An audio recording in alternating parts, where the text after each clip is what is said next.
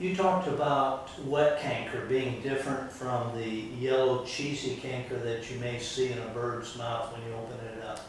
Is there any way that we can recognize that? The beginner can recognize that. Wet canker is most often seen as mucus in the throat. Uh, if you see it, and a lot of people identify that as respiratory, but honestly, in most cases it's not. It's just really canker. And it, it, it may be at the subliminal level, so it's not really become an infectious thing to the bird. The bird's body weight can stay good, it can still perform pretty well. But if you see that mucus down at the bottom of the throat, especially if it's stringy, uh, you probably have a little canker issue in those pigeons, and it would be good if you did a, a treatment.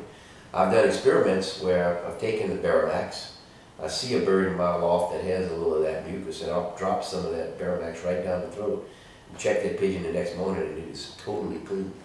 So I know I'm treating canker, You're taking the powder form of Baramax and just dropping a little bit just a pinch down the throat, yeah.